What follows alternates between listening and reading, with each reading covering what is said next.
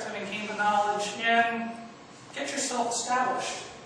So, before I go on, I have to talk about our social media here on Virginia State Bar side. We're on all these platforms, Instagram, Google+, Twitter, LinkedIn, Tumblr, YouTube. You just have to use the letters VSBYLC.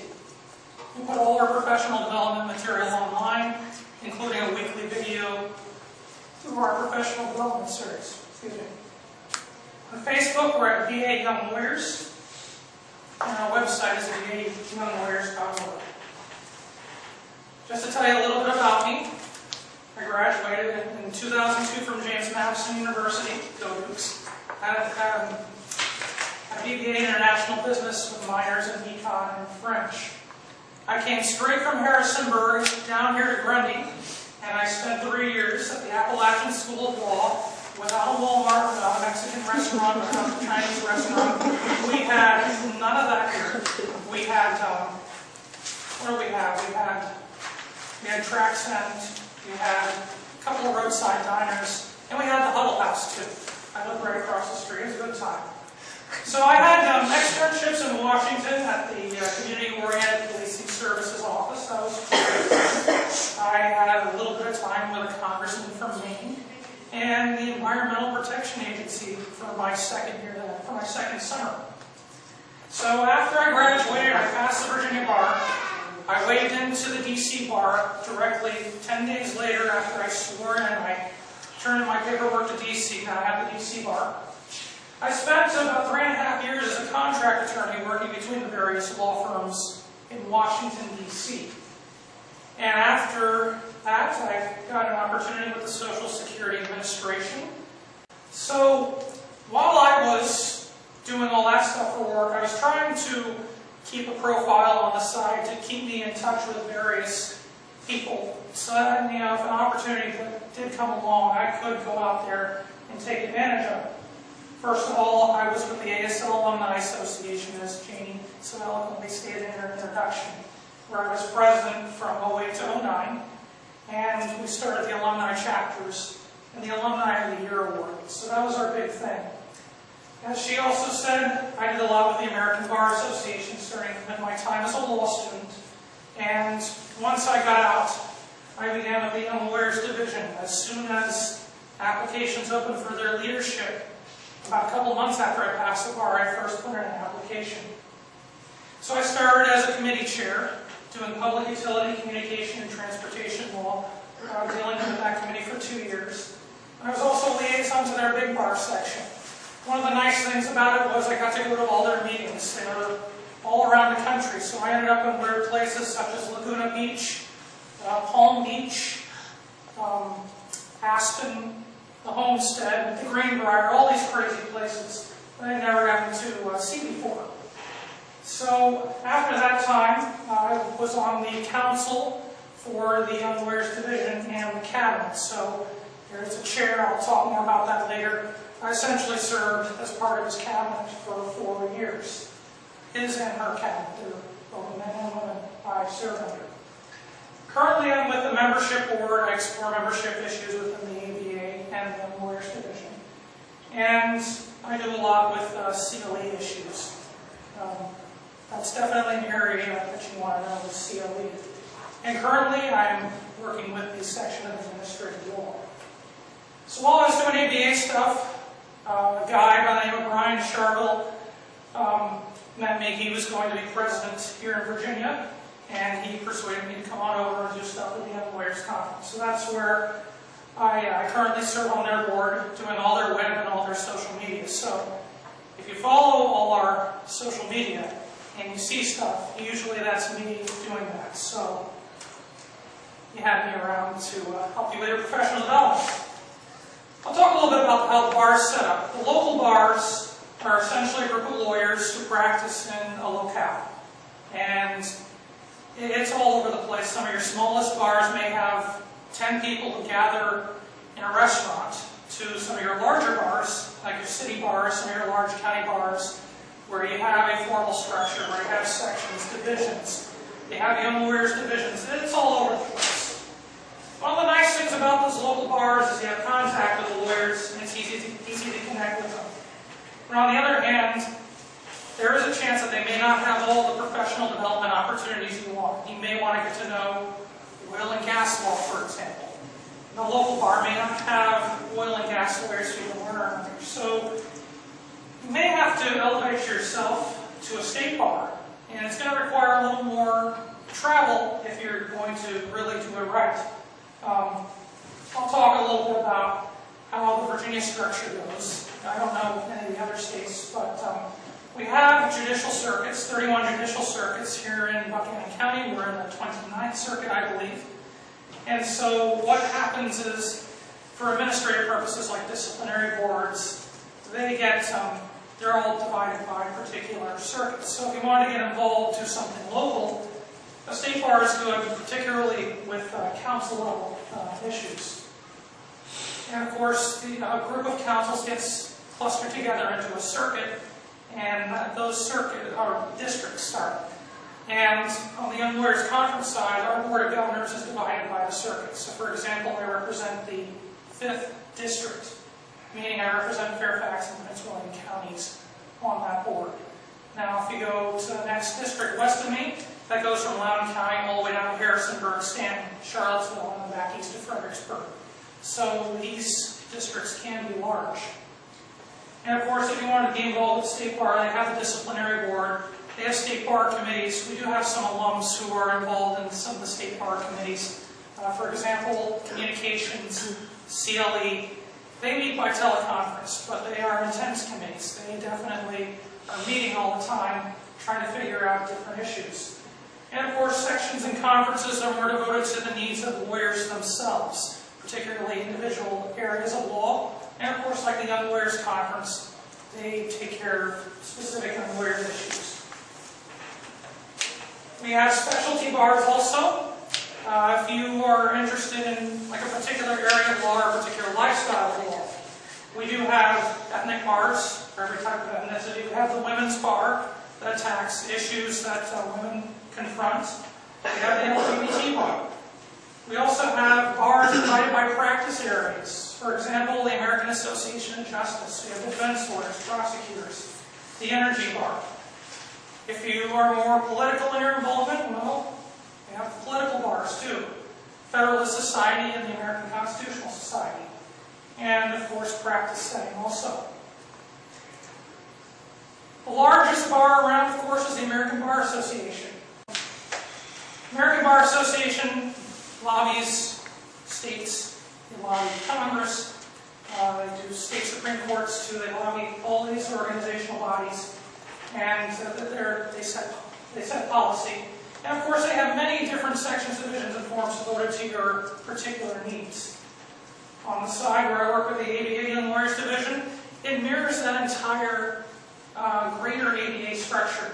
We have an assembly, which sets all the national policy on behalf of young lawyers. Of course, the council and the cabinet, which do specific projects, and committees and boards, which help um, help young lawyers get into practice. You're going to see uh, young lawyer groups all over the place. Um, you'll see them in all state bars, lots of local bars too. Your membership requirements, up to age, it varies by the uh, young lawyer group. 35, 36, 37 is what I've seen. I've seen them up to 40. But even if you're above a certain age, you're still a young lawyer when you get out. First three years, five years of practice, you're going to be a part of the Young Lawyers group for that particular organization. And each Young Lawyers group's goal is to get you involved with the bar, to get you to be a part of the greater lawyer world. So they're there to show you the benefits of the bar. You can create connections. And of course, There are many opportunities for you to develop practice and leadership skills. Usually, lawyer groups divide their projects into three categories. Member services, which helps you out, particularly with CLEs, with brown bags, that sort of deal. Public service, this is where you do the pro bono, um, anything else you like that's uh, publicly served, public service, community service essentially. And diversity in the bar, which is aimed to get you into the uh, greater profession itself. Young lawyer groups have leadership, well, actually all lawyer groups. They love continuity, they love institutional knowledge. And so if you're going to go for a presidency of one of these groups, it's going to be a three or four year commitment. You're going to start off as either secretary or treasurer, where you're going to learn the organization in and out. Even if you- you've been involved in years, there's a whole lot of stuff you have to learn from the executive side. So that's what your, that year is for. President-elect, you're planning your year. President, you're having your year. And then immediate past president, you're there to consult whoever for the organization to kind of help them guide their initiatives to success. So here's probably the most important slide I have right here. You want to have a strategy for getting involved uh, because, as you know, when you're new, you're going to get lost. And it can be overwhelming at times. Some of you are going to have jobs, some of you are not going to have jobs. That applies to everybody in video land, too. If you have a job, you want to get involved in the bar, you want to grow and sustain your skills. Essentially, there may be a skill that you feel that you don't, you're not developing enough, like a leadership skill or something like that. Here's the perfect place to do it. Of course, creating business, business development opportunities for your firm for your organization. That's very important. And what I tend to see as most important as a public uh, sector employee, it allows me to see how people do things. Get outside my office, get outside my bubble, get outside Washington, D.C., and see what people are doing, see how people talk. To me, that's probably one of the biggest benefits I get out of the park. If you don't have a job, your strategy is going to be slightly different. You want to find leads. You want to keep up your skills. And there are plenty of opportunities you'll have, whether it be through newsletters, magazines, or through CLE, that you're going to be able to do something like that. And of course, developing the leadership and management skills and your soft skills that you need with uh, working with uh, groups. And in both situations, of course, I say this again, gain perspective on how people operate. So, there are lots of projects out there. What's right for you?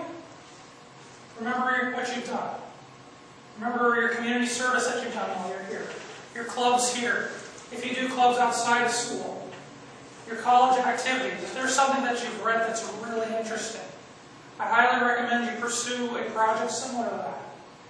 Of course, if you want to travel, there are plenty of groups that will allow you to travel. Of course, when I talk about membership fees, in your first year, you're going to get a free membership in all voluntary bar organizations. They will want to recruit you. That includes the American Bar Association.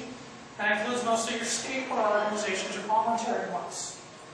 Take advantage of that free membership. Just to let you know, you will have that. Look for that piece of paper in the mail that comes um, after you pass the bar exam. And of course, I have my cards here for all of you. If you um, want to get involved, I can help you figure out what you'd like to do, of course. And of course, with your goals, don't forget to go for a, I know you'll like a local bar, go for that. Give that a try. And of course, to supplement your time with local folks, I definitely recommend doing something on a state or national level just to help you out, just to get you some long distance leads in your practice. Now that you pass the bar, now that you're in, and you will all pass the bar, I guarantee you. You will all pass the bar, study, work hard. These people taking good care of you. Right? They've taken good care of you. So, here's what you do. Even though this person may be the chair or the president of an organization, they'll talk to you. And the the exception to that might be the president of the ABA where they have 400,000 people. I'll, I'll say this, give them a try anyway. They might be interested to listen to you. They're, they're all about recruiting. They all want to hear who you are and what you are. So definitely go out. Another thing that's important, each bar has goals they want to meet. Are we serving our members? For instance, are we putting on continuing legal education? Are we putting out, we have a journal we put out. Uh, we need articles for that. We have a public service project, and apply that in the community. And local coordination, and of course volunteers. So somewhere, somehow, there is going to be room for you. If somebody turns you away, go to another organization. There is room for you in this profession. And I'll just give you some names here. This part of the presentation flies. In Virginia, we have two uh, organizations. We have the Virginia State Bar, the mandatory bar. We have a voluntary bar called the Virginia Bar Association. Both have young lawyers groups. Young Lawyers Conference is one affiliated with on the Virginia State Bar side, and the VBA has the Young Lawyers Division. If you're going to West Virginia, they have a similar situation. The State Bar has the Young Lawyers section, and the Bar Association has the Young Lawyers Division. If you're going to Kentucky, they just have one bar, they have a Young Lawyers Division. Same with North Carolina, and same with Tennessee. Now, I do know people on the executive boards of all five Young Lawyers divisions. And in addition, of course, the American Bar Association's the uh, largest one. And of course, I know all the people on that board too.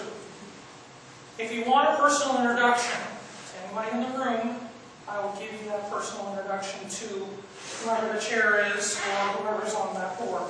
They will definitely be happy to hear from you. Finally, we have our special interest bars. All these groups that I previously mentioned have state chapters. Many of them will have state chapters. If you're in a large city, they'll have chapters. Many of them will even have young lawyer groups. So there's a chance for you to get involved. And I with some of them, but we'll see. Oh, well, not. Thank you for letting me come back to Grundy and see all the fine stuff you have. So